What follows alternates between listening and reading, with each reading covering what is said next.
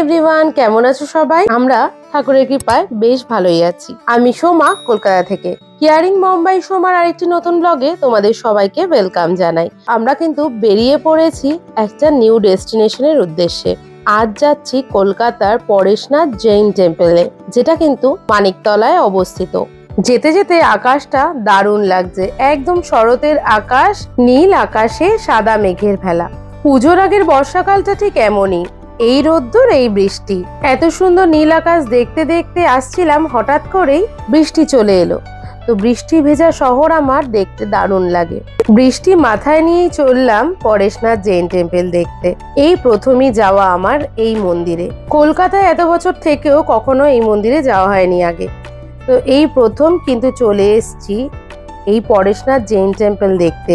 খর্দা থেকে মানিকতলার এই পরেশনাথ জৈন টেম্পলের দূরত্ব প্রায় প্রায় তেরো কিলোমিটার। সময় মোটামুটি পঁয়তাল্লিশ থেকে এক ঘণ্টা মতন লেগে গেল আমাদের। বৃষ্টির মধ্যেই আমরা পৌঁছে গেছি পরেশনাথ জৈন টেম্পলে। আকাশে মেঘ ভর্তি আর তার মধ্যে অপূর্ব সুন্দর এই মন্দিরের দর্শন। সত্যি বলতে অপূর্ব এক দৃশ্য চোখে পড়ল আমার। মাথায় করে আমরা ঘুরতে এসেছি।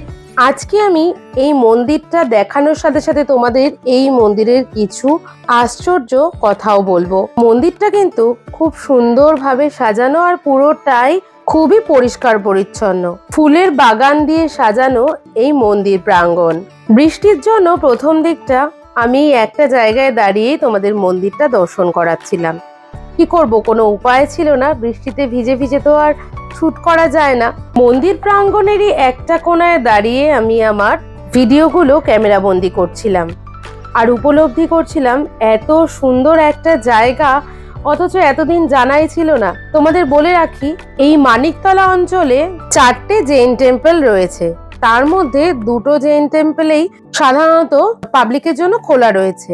আরেকটা পরেশনাথের জৈন টেম্পল রয়েছে ঠিক কলকাতার বেলগাছিয়া অঞ্চলে।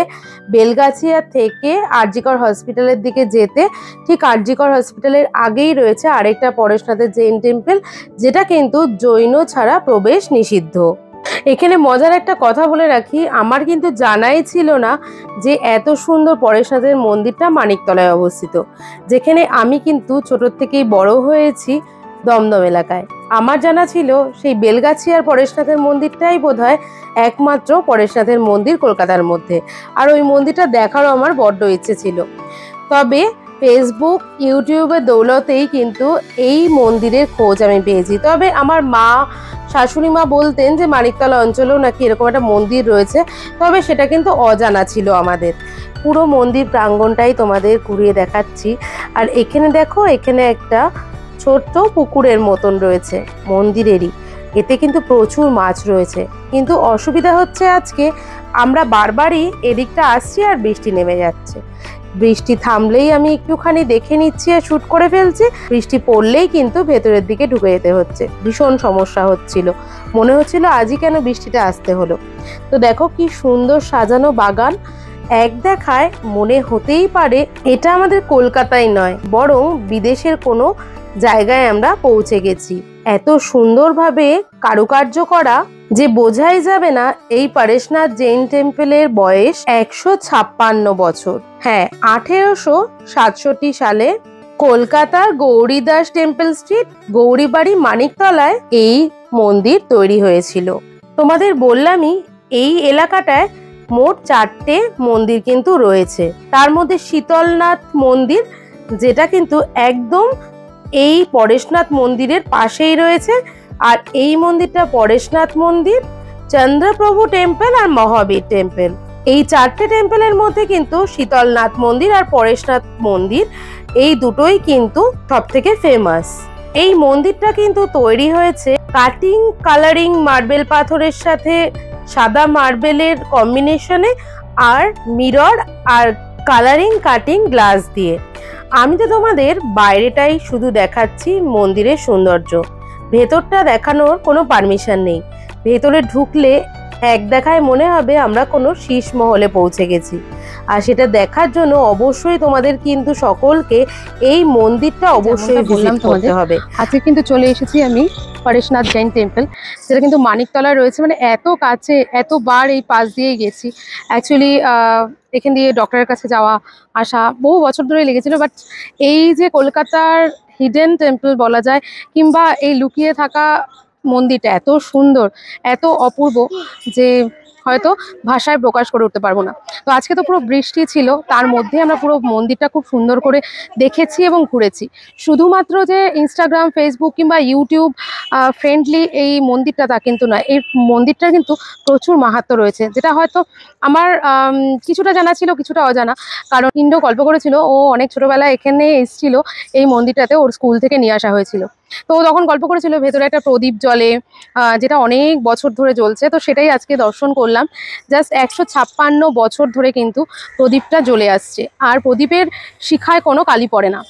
মানে ওপরে প্রদীপটার ওপরে যে একটা শেড করা রয়েছে, সেখানে কোনো কালি হয় না। এটা একটা স্পিরিচুয়াল পাওয়ার তো নিশ্চয়ই রয়েছে, কারণ সেটা না হলে তো এটা হবে না। আর ভেতরের যেটা, সেটা তো তোমাদের সাথে শেয়ার করতে পারলাম না, যেহেতু এখানে ফটো ভিডিও ভেতরে ভেতরে করা বারণ। দেখতেই পাচ্ছ মন্দিরটা কত সুন্দর। তো ভেতরটা না দেখলে মানে অদেখাই রয়ে যাবে যে কলকাতায় এত সুন্দর একটা মন্দির রয়েছে। আর পুরোটা একদম টুকরো টুকরো কাঁচ দিয়ে মনে হবে একটা শীষ মহল তৈরি হয়েছে ভেতরটা। জাস্ট অসাধারণ একটা মন্দির। তোমরা যারা এখনও এই মন্দিরটা এসে দেখোনি বা জানো না, তারা একবার অন্তত এই মন্দিরটা এসে ঘুরে গেলে তোমাদের খুব ভালো লাগবে। এটা কিন্তু একটা একটা মানিকতলাতেই রয়েছে মানে অনেকেরই জানা কিন্তু অনেকের আবার অজানা এই মন্দিরটা। তবে এখন ফেসবুক ইনস্টাগ্রাম ইউটিউবের থেকে আর কি আমরা জানতে পারি বা ভাইরাল একটা টেম্পলও বলা যায়। কারণ ইনস্টাগ্রাম থেকে ইউটিউব থেকে কিন্তু আমরাও জেনে এসেছি। কিন্তু হ্যাঁ আমাদের মা বাবারা কিন্তু এই মন্দিরটা সম্বন্ধে জানে। কিন্তু এতটা যে ফেমাস হতে পারে, এতটা যে সুন্দর হতে পারে, তাদেরও আর কি সেইভাবে ইয়ে ছিল না যে তারাও আর কি আমাদের বলবে সাজেস্ট করবে যে এই জায়গাটা ঘুরে যাওয়ার কথা। তো অনেক বছর ধরেই আর কি আমি ভাবি এই টেম্পলটায় আসব। অ্যাকচুয়ালি আমি তোমাদের বলি যে অ্যাকচুয়ালি যেটা টালাতে রয়েছে মানে ঠিক আরজিগড়ের আগে।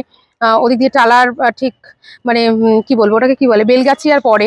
বেলগাছিয়া বা টালা, এরকম মিডিলে যে জৈন টেম্পলটা রয়েছে, পরেশনাথ টেম্পল নামে, যেটা আমরা অনেকেই চিনি, ওই এলাকার নর্থ ক্যালকাটা, কিংবা যে ওই দমদম এলাকার মানুষ, ওখানে কিন্তু ঢুকতে দেওয়া হয় না। ঢুকতে দেওয়া হয় কিন্তু এই মানিকতলার এই মন্দিরটাতে। তো এই মন্দিরটা কিন্তু অদ্ভুত একটা সুন্দর মন্দির, তাই তো? খুব সুন্দর তো? বলো কিছু তোমার কেমন লাগল? ভেতরের ডেকোরেশনটা বেশ ইউনিক ছিল। জাস্ট লাইক বলতে হাতে সব জায়গায় শুধু মিরর মিরর মন্দিরটা দেখে আমার খুবই ভালো লাগল। আর আমার মা বাবা আর বোনেরও খুব ভালো লেগেছে। ভেতরটা অসাধারণ যেটা মানে ডেসক্রাইব হচ্ছে করার মতন ওয়ার্ডস নেই আমার কাছে। আমি সাজেস্ট করব দ্যাট তোমরা এখানে এসে একবার দেখে যেতে পারো।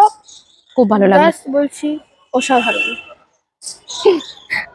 আস্তে আস্তে ইউটিউব করা শিখছে। তো আমরা এখানে লাইটস জ্বলার ওয়েট করছি। লাইটস জ্বলে পরে দেন কিন্তু আমরা দেখে লাইটের লাইট জ্বলার পরে এই মন্দিরটা কেমন লাগে দেখতে, সেটা দেখে এখান থেকে বেরোবো। তো এখানে সন্ধ্যা আরতি হয় কিন্তু সন্ধ্যে সাড়ে ছটায়। ছেলের দিকটা আসলে বেশি ভালো লাগবে।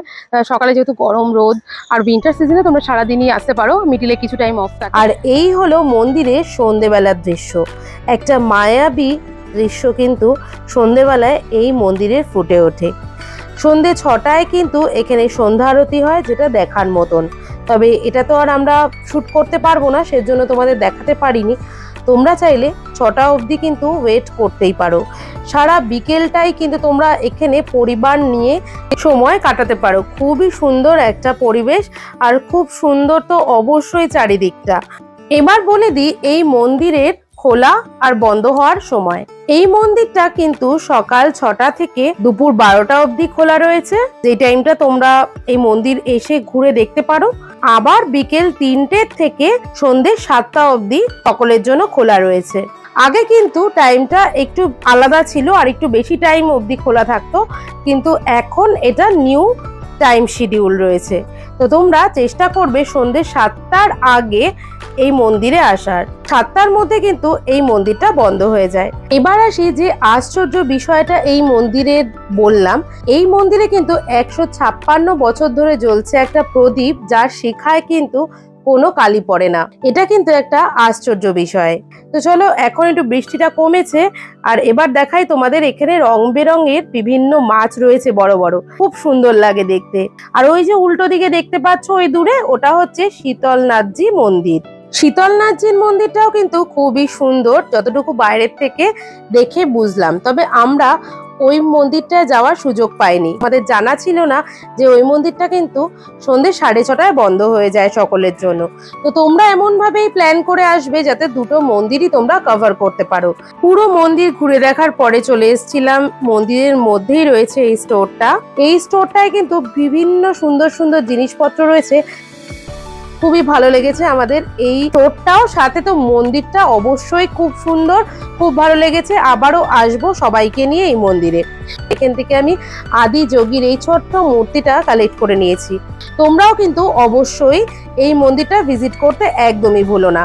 এবার বলে দিই, এই মন্দিরে আসবে কি করে তোমরা? শিয়ালদা থেকে এলে তোমরা, শিয়ালদা থেকে বাস পেয়ে যাবে খান্নার, আর মেট্রো স্টেশন বলতে কাছাকাছি শ্যামবাজার সোয়াবাজার কিংবা বেলগাছিয়া।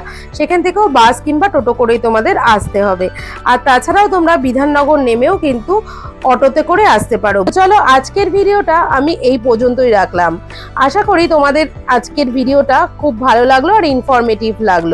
আজকের ব্লগ ভিডিওটা তোমাদের কেমন লাগল অবশ্যই কমেন্ট করে জানিও। ভালো লাগলে লাইক শেয়ার করতে কিন্তু একদমই ভুলো না। আর যারা তোমরা ফেসবুক পেজ থেকে দেখছ পেজটাকে ফলো করে রেখো। আর যারা তোমরা ইউটিউব থেকে দেখছ সাবস্ক্রাইব করতে ভুলো না। তাহলে দেখা হবে আবার একটা নেক্সট ব্লগে ততক্ষণের জন্য এই ফটোগুলো দেখেই তোমরা এনজয় করতে থাকো।